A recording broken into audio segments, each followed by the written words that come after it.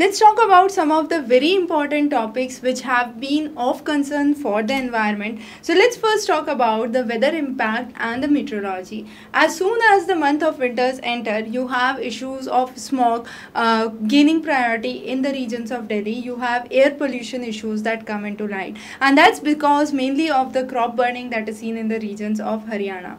Now, what recently has been talked about is bringing in uh, BS6 norms. Now, what is BS6 norms and how in Delhi we monitor the air quality? So, when we talk about air quality, you have the certain index which varies from 0 to 500. Uh, the lower levels talk about greener environment so you have the colors as green and the higher levels talk about hazardous conditions which have the uh, values of red and the variations meanwhile similarly we have lot of particulate matter which is seen which is mainly particulate matter 2.5 and 10 you have uh, various five different oxides. So nitrous oxides you have particulate matters hydrocarbons carbon monoxide and sulfur dioxide which are major parameters to understand the air quality of a region. In delhi mainly we say the industrial use uh, the burning of the furnace oil and pet coke have been major reasons for uh, the issues of air pollution and as of as a result uh, these burning of the pet coke burning of the furnace oil have been totally banned in the regions of uh, delhi and its vicinity.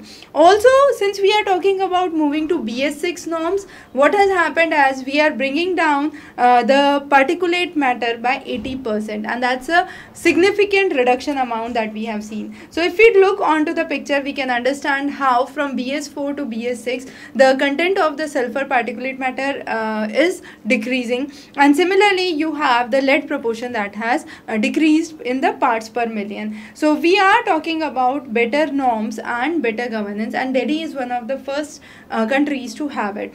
The next is the issues of desertification which have been addressed in the recent un uh, convention for desertification the statistics have revealed that Himachal Pradesh alone has 41, 41% of the area that is slowly and gradually turning into deserts. You have lots of winds, droughts and excess rain conditions that are seen and even the areas which have uh, wheat production which is significantly seen in those regions we have seen water scarcity that is coming up. A lot of land which requires a special amount a specific amount of uh, moisture uh, you see that they are losing those crops. So desertification has become one of the major threats. Then comes the issues of sustainable development with the global agenda for 2015 you have the idea to end the poverty to protect the climate. Uh, the protect the environment and the planet as such. So you have 17 different uh, sustainable development goals that have been laid down and the idea is to protect the environment.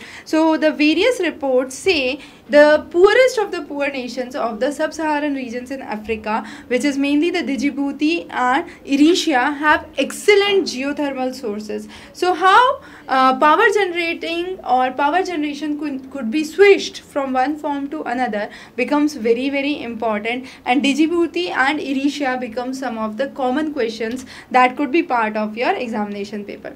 The next is emissions of carbon dioxide um, is causing slowly and gradually mass extinction because of the global warming, uh, it is expected that the proportion of the carbon which is stored inside the earth is a very higher proportion that is seen over the earth which is less than 1%.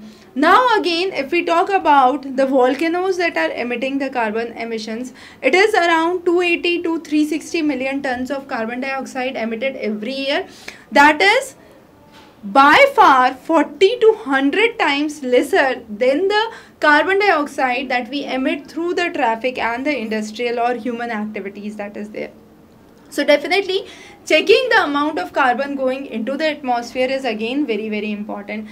Multi-drug resistant TB has been a very uh, a very major issue of concern. The major affected areas are mainly Maharashtra, uh, Uttar Pradesh and Rajasthan region. You have lots of TB cases coming in and over the years what we have seen mainly in the HIV infected parent, uh, patients you have uh, the proportion of multi-drug resistant tuberculosis that is gaining significant uh, jump. So what we require is uh, talking about prevention and control for the drug resistant tuberculosis cases that are seen. So controlling the amount of infection providing a kind of second line of drugs is very very important. When it comes to climate change you have the world meteorological organization which is working and talking about the intense marine heat waves stronger storms coming in. And there is a kind of jump in the marine heat waves from 20 to 50 percent that is recorded and that is expected by 2081 so there is a change definitely coming on. The special report on the ocean and cryosphere in the changing climate has talked about the evidences of increase in the percentage of storms which is 4 to 5 times as compared to the previous decades. So by these weather related phenomena, you have numerous people displacement taking place, numerous refugee problems developing in, a lot of internal displacements coming up, global oxygen uh, cycle getting imbalanced also you have the atmospheric circulation which is governed by El Nino is getting affected. So El Nino we have discussed in one of our separate lectures so you can just go back and refer that again. And it's believed that by 2100 we would have nearly 5 to time 5 to 7 times higher amount of global warming mainly in the ocean. So we can say ocean warming warming that would take place and higher amount of heat that could be seen also, a lot of the seas are warming and the amount of carbon dioxide emissions that are seen from the various countries, if we look, you have the highest proportion jump, uh, kind of uh, exponential jump that has been seen for China. India also has registered a significant increase. Among the sources, the highest source as of now is coal and slowly and gradually we are talking about moving to non-renewable sources of energy or cleaner sources of energy where we are talking about wind energy solar energy as a substitute. International solar alliance is in uh, development in this line. So if we talk talk about four of the top highest greenhouse gas emitters those are America, Japan, Brazil and Australia and these have refused to have commitments to UN climate change summit. Uh, also you have countries like Saudi Arabia and oil producing nations which did not participate in it but definitely the idea to cut greenhouse gas emissions is very very important and the cut is expected by 2050 and if that does not go on the warming would increase to nearly 2.7 degrees celsius to 3.7 degrees celsius. So that would be a kind of significant increase. Now talking about some other uh, news you have mudumalai tiger reserve area. You have kumbarkars and uh, Kuruknayaks as some of the major tribal areas, uh, tribes that are found in these areas you have numerous tribal uh, families which are associated to this region and a lot of kind of criminal activities that take place. Also you have the scheduled caste and tribe prevention of atrocity act that was very very important. Similarly to this in the ravines of uh, gujarat you have the regions of kheda panchmahal vadodara and anand. The four districts a high amount of soil erosion activities have been recorded. Uh, also you have seen such activities in the regions of uttar pradesh gujarat madhya pradesh Rajasthan. Uh, the Foundation of Ecological Security has been working in this region. It is a kind of non-profit ravine reclamation project that has been running through the regions of uh, Anand. Then you have WMO, the World Meteorological Organization, which has been working day in and day out for, along with the Army, Navy and weather agencies, publishing the reports for weather forecasting without human intervention. So a lot of uh, computer simulation goes in.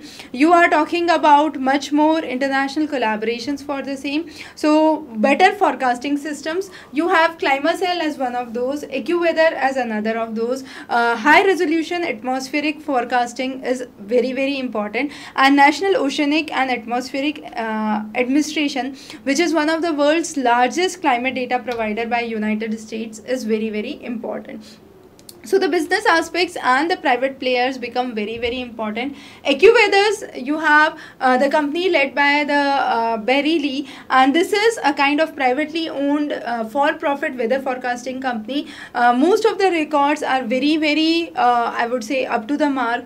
And there are con uh, continuous computer simulation models coming in in the field. Similarly you have a lot of pros and cons for the same. When you have a lot of public private partnership you ensure that that infrastructure solutions come up at their best. Uh, also, you are trying to reduce any kind of unnecessary delays if there can be. Uh, when there is public-private partnership, it can lead to higher cost and higher burden uh, because of the public partnership there could be a kind of disadvantage on the side of uh, relying on to the rules and the procedures and uh, the uh, the system that has to be followed which can negatively affect the system but as I said, ClimaBase, uh, is one of uh, a startup which is based in Boston in America with uh, around 100 employees and working on Internet of Things and all kind of smart vehicles, street cameras with wireless uh, systems talking about accurate weather forecasting uh, resources and those data are being so- sold to numerous companies uh, which are using those data as a kind of satellite data. Similarly, you have other companies which are dealing with it. Ship from Kochi in India is talking about weather forecasting. You have SkyMet, which is talking about uh, various sectors, be it power, be it agriculture. You also have you numerous US based weather forecasting companies. Then we talk about geographical indicators. Uh, GI is a tag that is given for understanding that that region has something very very unique. For example madhubani paintings from bihar oranges from nagpur you have rasgullas from west bengal. Similarly you have murugan temple in tamil nadu which has got a gi tag for its prasad which is offered to the deity and the devotees and it's a kind of mix of jaggery banana and ghee. So that's a gi tag for the murugam prasadam that is being talked about. These uh, gi tags are a requirement for a trips agreement. So india is a member of of uh, WTO and it has enacted the geographical in, uh, geographical indication of goods uh, act which came into force in 2003 and through that you have a legal agreement between the WTO nations. Now uh, what has been seen is the gap in the income disparities that has been seen and it has been observed that the poor are no longer moving to the higher income brackets. So this has impacted or brought about a stagnation in the middle class and the upper middle class and therefore uh, there has been an impact to the economy. There have been preference to the domestic economy and uh, sometimes when people are moving to the foreign economy there is a downturn for the domestic domestic economy. So there has been a kind of uh, income switches that is taking place which is affecting the economic structure of the company also when we talk about agricultural production uh, you have a lot of digital mobilization that has gone into. And because of this digital mobilization you have seen upi payments coming in bhim mobile interface coming in. And all those are made to make the life and the process much more smoother much more simpler. And even now you cannot think about these systems going down for a day also we have catch 22 rural urban continuum which has been developed where individuals cannot violate uh, any kind of uh, rules or limitations that are being brought about. And this is a situation where let's say a bank will never issue a kind of uh, loan if there is a need for the money. So uh, that is the main idea and therefore it's called as catch 22 so you have uh, dem- demarcation for the urban areas. We in india we say a population of 5000 uh, non agricultural activity where males are involved with 75% of the males involved in non agricultural activity and a density of 400 people per square kilometer. If these three criterias meet you say that that is an area where you have the census town demarcation that is seen. So 5000 of population more than 75% of the males engaged in non-agricultural activities and then you also have 400 persons per square kilometer of the uh, population density that is seen. Uh, in India, you have the demography that is changing quickly and a lot of migration from rural to urban area taking place. So there has to be a kind of rural-urban continuum where the rural areas do not evacuate out or do not just uh, remain barren, I could say. Now coming about some of the important MCQs that could be part of this. So Mudumalai as I said, uh, Katunayaks and uh, Kurumbas are the two main tribal areas which are seen in the Mudumalai tri- uh, tri- uh, Tiger Reserve areas in Tamil Nadu the next is uh, fortification of the grains take place and that's basically for iron folic acid and vitamin b12 uh, we also have the oraon tribe which is seen in the regions of jharkhand odisha and chhattisgarh. You have international climate action day being celebrated on 24th of october. A lot of uh, situations of uh, blocking the gullies plantation issues have been seen in the regions of khorwad in the anand district of gujarat. Similarly uh, you have the WMO which has been a lot in this edition, which is the World Meteorological Organization, and the headquarters of which are based in Geneva. So this becomes very, very important. You have nearly 193 countries and 54, uh, 15 telecom hubs which are part of the World Meteorological Organization. You have the headquarters of IBM, which is located at Armonk uh, in New York. Similarly, you have numerous uh, weather forecasting supercomputers that are coming up. In India, it's mainly the Pratyush and the Mihir that is seen and also you have the National Center for Weather Forecasting for medium range which is being established in Noida in Uttar, uh, Uttar Pradesh. So those are some of the key highlights from this edition. We'll be bringing a quick summary of the important topics every fortnightly. So stay tuned with further uh, upcoming editions and two of the very important topics I repeat again are the BS6 norms comparison to the Euro 6 norms and also talking about uh, the issues of desertification, uh, the sustainable development goals. So with this, we complete this session. Have a good day.